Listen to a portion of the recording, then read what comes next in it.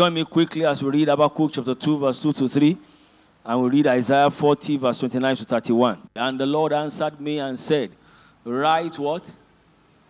Make it plain upon what? The tables, that he may run that readeth it. Readeth is Old English. It means reads, present continuous tense. That he may run that reads it. So don't let uh, the debt, uh, the readeth. It can be confusing at times. Hallelujah. Now, verse 3. For the vision is yet for what? When is the vision meant for? The vision is yet for an appointed time. But at the end it shall what? Every vision has its appointed time. Every plan of God for your life, every program of God for your life has its appointed time. There is no vision God has given you, no dream He has given you that does not have His own time. God puts deadline, puts date on everything that He wants to do in your life. He said the vision is for an appointed time, but at the end it will what? And not what? And not lie. Though it what? Though it takes longer, though it's, it, it seems slow, though it tarry, what do you do? When it seems that it's not coming to pass, abandon it, run away from it, give up on it. What is the instruction? Wait for it. Because it will what? Surely come, it will not tarry. It may seem slow. He said, wait for it. How about say, I'll wait for it? Isaiah 40, verse 29 to 31. Isaiah 40, verse 29 to 31. Isaiah chapter 40, verse 29 to 31. The book of Isaiah. Thank God I have my Bible here. Glory to God. Isaiah chapter 40.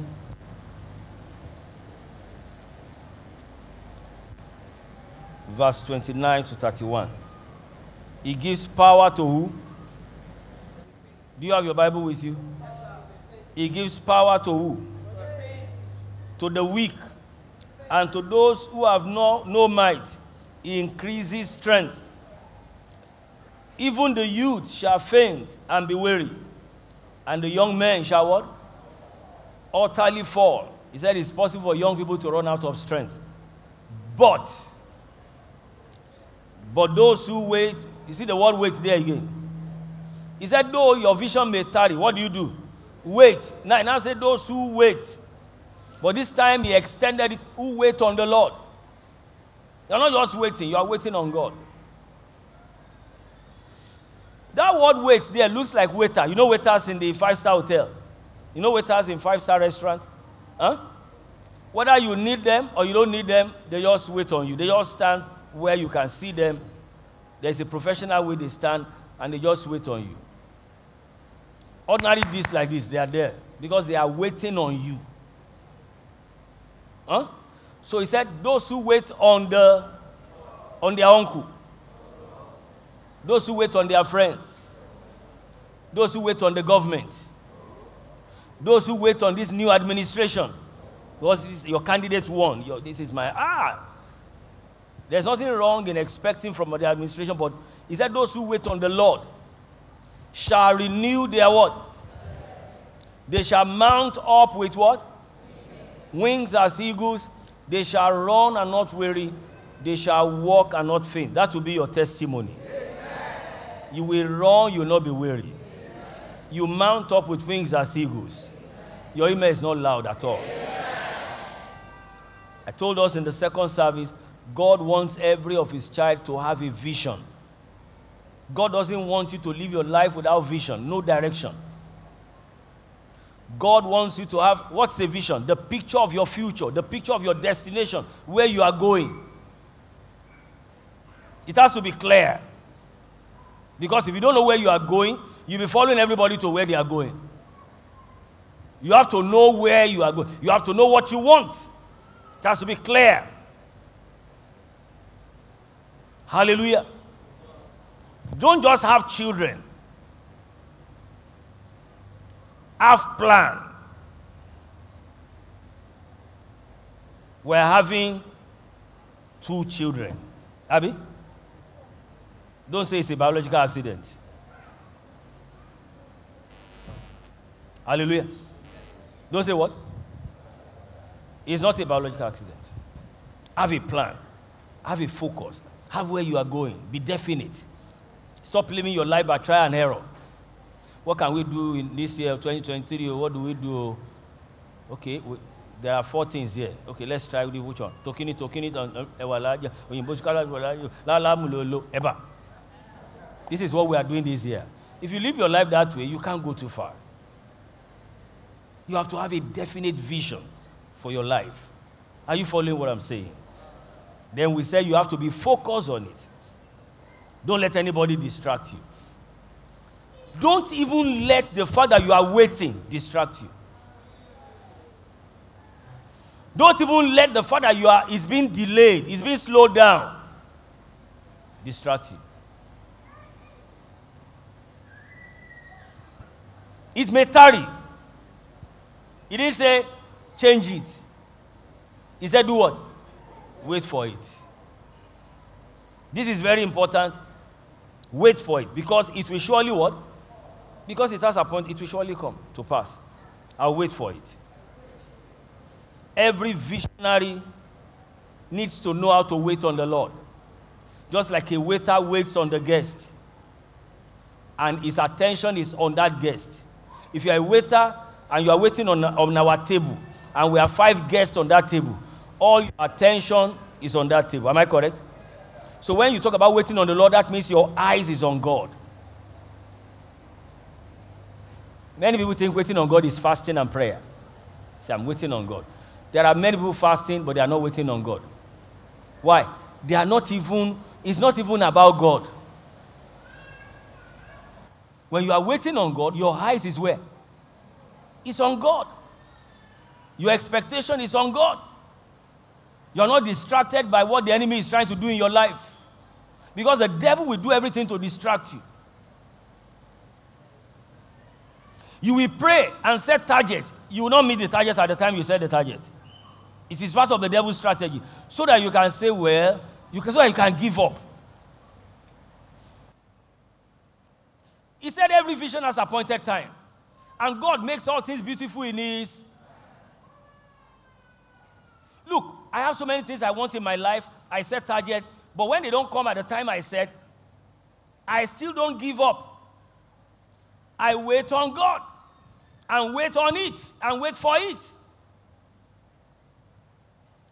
It might be delayed, it cannot be denied because God cannot lie. Are you following me? The date may change. The date I said may be different from the date God has said. But the reality is that it will come to pass. One day you will carry the baby. It may not, be at 26 that you want to carry. It may be at 36, but you still carry the baby. In God's time. Many of us don't believe in God's time. There are many things I wanted. I will set date. I will set target. I will pray. I will give. I will sow seed. I'll do everything. It's not every of my prayer that comes at the time I wanted them. Honestly, I have to be honest with you. But when they don't come at that time, I don't give up. It will come to pass. That's what the Bible says. You know, one of our one of our leaders here, you know, the daughter, they were trying to make some arrangement for her to relocate. They made the first arrangement to a particular country. It didn't work. It didn't work. It was a lot of struggle. They changed the country. They tried, they tried this country again. This time, somebody ran away with their money. So we're talking. I said, I said, ma, I said, don't worry. I said it will come to pass at a time when it will not come with any stress. The blessing of God is without sorrow, no stress. You know what happened? this God not strange God though. God is real. Though. The same country they carry their money away. A classmate that they've been children together now saw an opportunity that lives in that country and insisted that it is my friend that will come and do this one. The family said, no, no, no, no, no, no, no. We still have somebody in Nigeria we need to bring. She, the person said, no, no, no, no, no, it's my friend that will come. That one will come later. There was argument, but eventually they kept it for her. She did not spend one naira of her own. Everything was paid for. A good training was done online for her. A good job with an apartment waiting for her, with an official car. United Kingdom. Do you know how many people have been in United Kingdom for 15 years and all roaming around like wanderer? Like refugee. Sleeping in train station. Olono. A landlord in Nigeria. Sleeping in library. They are telling him we want to close library. Going for welfare package. When God, when, when, when God says something, it has appointed time. I'm serious.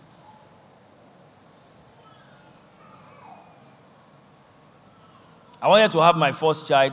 I got married very early. I wanted to, I wanted by 40 I'm done, but God said, no, that's not my plan.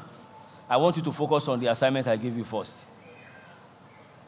So I was busy with the assignment, and the assignment became my first son. I married this job and got attached completely. Because that time I'm waiting is for something. So I invested that time on that, what it is. Are you following me? Then, when the appointed time came, this pregnancy, no headache, nothing. The other ones that we were losing, there will be headache. Be, this one, no stress. We were almost asking that. Uh, show, show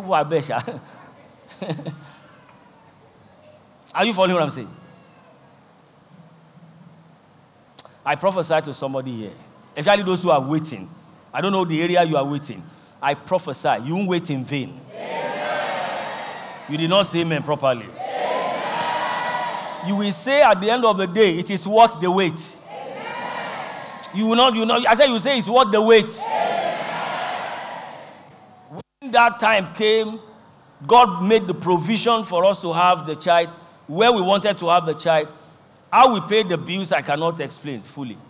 And I took my family, uh, my family were in Connecticut for five weeks. My in laws said, No, come and stay here. This is where those who have come into church. I said, No. I, I took a whole duplex and paid for it. They were wondering, Where is he getting the money? I must eat Nigerian food once a day. I was eating Nigerian food. Look, the way it will happen, you will not even be able to explain. It will be supernatural. That house, you carry the picture up and down, you, you will build it without stress. You will finish the house. You'll be asking yourself, Is Am I the one that built this house? You'll be asking yourself, Am I the one who built this house? One of my uh, senior friend pastor shared it with me. I was in his house some weeks ago. I saw the beautiful house. So we're talking a few days ago. He was telling me how he built the house. He said, Pastor, people thought I was rich. I didn't have money before. He said, I back into the house about two or three years ago. He said, one guy that is a member of our church that I've always known, he has always given to church project. He has never given me money personally, and I've never been angry that he didn't give me because he was uh, supporting the work of God. He just called me in the morning. He said, I can't sleep overnight. After I had relocated, though, not even when he was in Nigeria. After I had relocated, he said, he called me, he said, I didn't, I couldn't sleep. God told me that I didn't take care of you. And I've called my friend, and two of us are building you a house. Where do you want it? He said, I already have a place. He said, before the end of that day, he sent 60 million naira. And just to start. When it is God funding it, in, when it is His will, it's His bill. Yes. When it's your will, it's your bill. When it is His will, it's His bill. When it is your will, it's your bill. He said, before we finish 60 million, he sent 30 million. He said, Pastor, before we finish 30 million, he said 35 million. he said, I didn't know I can build a house like that. Look, you will point to that blessing and say, This cannot be me, this cannot be man, this is God. Because they can't, they won't be able to trace it to your efforts. You are not saying amen, you don't know what I'm talking about. Can you trace the job this lady is doing in you? Can you trace it? No, it's not your qualification. It is favor, it is grace, it is God at work in your life. It will be without struggle and sweat. You are not saying amen. amen. You will conceive, you know you have conceived. It is you that will be telling you that go and do checkup. Had David. I told my wife, if it is only this is enough. When I saw the trouble women go through, I said, this one, it's not bad. I said, look, I can't stand this kind of thing again the second time. Talking about no. You know, because I, I was there when my wife delivered David. They said I should sit there. I said, I'm not sitting down. I didn't know I didn't know something can happen that would make me. I stood up praying. They said, ah, Pastor, they, they said I should they said I should order food. I said, which food? Where will I put the food? when I, me and somebody put a, put a woman, we put a, I will now be eating. So I told my wife, I said, please, Deacon called me. He said, ah, Pastor, please, oh, now that God has made the way, oh, let's do another one fast. Oh. I said, ah, in my mind, I was thinking about if you know how much this cost me, you know that I should rest. hey, 22 months later. No, 22 months. No, sorry. Uh, remove 22 from 9. 9 from 22. How much do you have then? Huh? 13. Huh? 13 months later. I say, I'm feeling somehow. Ah, I say, How you feeling? And my taste, my taste, but I said, You better go and do pregnancy test. I mean, even me that said it, I did not even. Another one has happened again. So when it's time to have the second one, I followed her to the hospital when we're close. I said, Sir, our doctor is a pastor too. I said, Please, after this one, we don't want another one again. What can we do? I said, Because the way this one happened, if another one should happen again, I will go bankrupt. ìwọ̀n ikú ni wọ́n tẹ́ I know my size I know my size I said the way this thing is happening if another one should happen again I will run away uh-huh. sir what do we do immediately after so that we don't uh, have another baby you know what the doctor said the man just laughed he said Pastor Adeoye hmm let's thank God you are now the one saying you don't want again.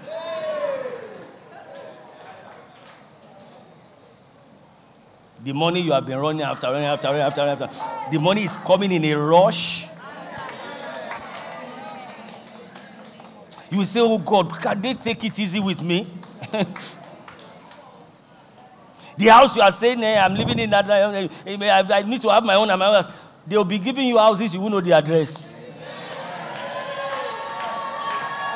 They will dash you house. Just to come and see it and know that this is my house. You won't have time to go and see it. You just put the document in that file. I have no husband. Nobody is toasting me. Correct human being, Mary, four, will be waiting on you at the same time. You'll be running there. You say, What's your place? I'm just confused. They say, What happened? Say, oh, The four are good men, nice, God fearing. I don't even know where. Ah, and they are all on my neck. the same you. Because when the time of a thing comes, he said he hastened his, he hastened what? He hastened his word huh? To perform it when the time comes. When the time of a prophecy comes in your life, God is in a hurry. I'm serious. God is in a hurry. When the day of Pentecost was fully come, he came as a rush, like a mighty rush. He was in a hurry. Every time the time of a thing comes in your life, God is in a hurry. The same God that you have been waiting on. We just come, pow.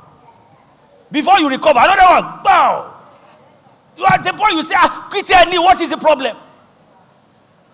They'll be calling you in Germany, calling you in America, calling you in Europe. One woman, one mother in this church waited for six years. her mom said she, her, her mother-in-law said she can never have a child for his son, for her son. But eventually, a month or two after, she conceived. The first one, one. The second one, twins.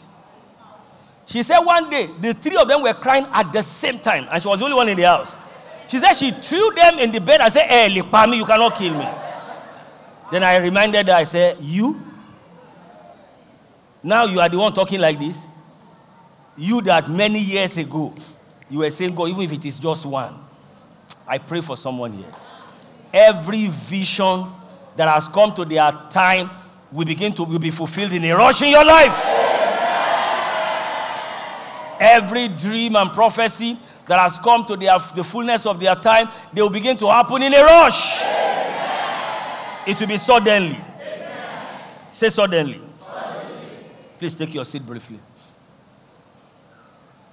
So every visionary needs to learn how to wait on the Lord from time to time.